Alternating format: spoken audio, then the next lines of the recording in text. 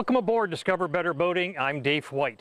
And whether you're already a boater or looking to get into boating, one thing you can think about taking advantage of is boating products made right here in New York. We're here in Marathon, New York at the Marathon Boat Group, and I'm pleased to be here with Doug Potter. And it's great to have an upstate boat manufacturer right here in upstate New York. Doug, how long have you been here? Well, Grumman moved the company up here in 1953, so this year's our 60th year at the Marathon location.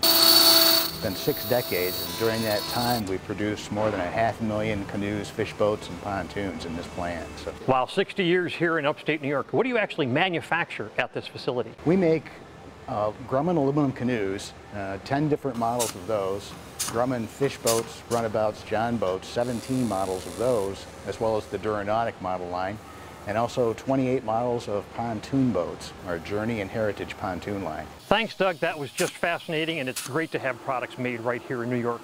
Beyond what occurs right here in Marathon, New York, we've also got wooden canoes and wooden boats made right here in upstate New York. And for the boater that's already out there, you can get your ring buoy and your fender manufactured right here in New York by TaylorMade over in Gloversville. And for this month's tip, as a boater, remember when you're putting your boat away, if you've got a head on board, make sure you're using a pump out station right here in upstate New York. For Discover Better Boating, I'm Dave White.